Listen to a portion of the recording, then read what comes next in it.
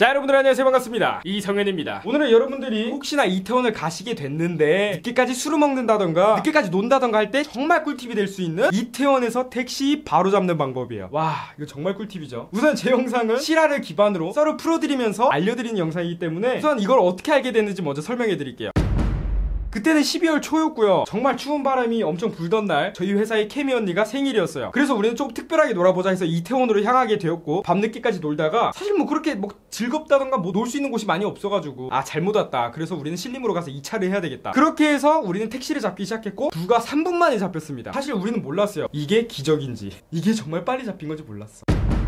근데 저희는 총 수은이, 진아 언니, 혜미 언니, 저 썬피디님 다섯 명이었기 때문에 한 택시에 다섯 명이 들어갈 수 없으니까 여자들 먼저 태워 보내고 그리고 남은 다음에 저희가 또 택시를 잡아서 가겠다고 했죠. 어떻게든 갔어야 됐습니다 그때. 괜히 안 보였어요 그때.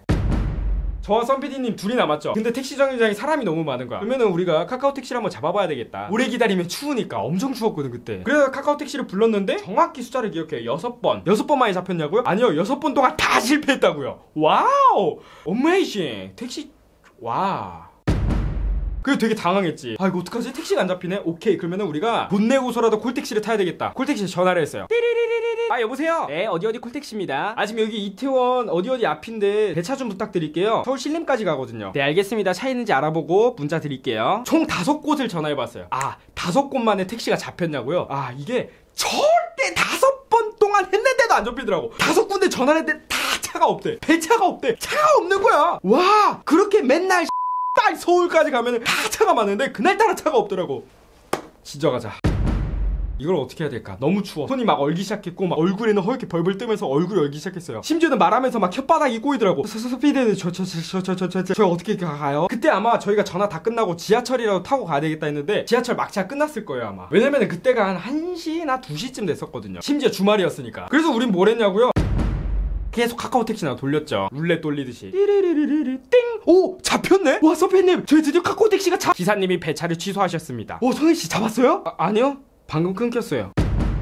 이러다가 진짜 추워 죽어버릴 것 같아. 발가락도 얼고 있어. 걷기도 힘들어. 돈이 오지게 깨지겠지만은 카카오 블랙을 불러야 되겠다. 한 세 번 정도 돌았나요? 아, 역시나 세 번 동안 돌렸는데도 안 잡혔다고요. 와. 심지어 우리가 최후의 마지막 방법으로 택시 타고 내리는 사람들 앞에 재빠르게 달려가가지고 그 사람 내리면 우리가 그 택시를 타고 신림으로 가자. 어? 저희 택시 내리네?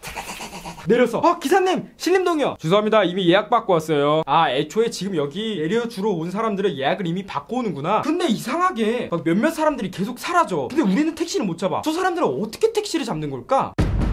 우리가 계속 멀리서 봤어. 근데 그 사람들이 택시 잡을 때 공통점이 있더라고. 바로 손 모양이었어요. 택시를 잡을 때 저희는 보통 이렇게 하잖아요. 택시 이러고. 근데 그 사람들은 이렇게 하더라고. 두 배를 준다고. 야, 저 방법이었구나. 근데 여기서 또 문제가 생긴 거야. 우리가 택시를 기다리고 있는데 빈차가 와. 손을 흔든다? 빈차가 마법같이 꺼져요. 우리를 보고 빈차를 끄는 거야.